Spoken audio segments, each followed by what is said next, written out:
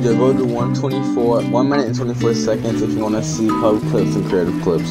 this is just editing clips.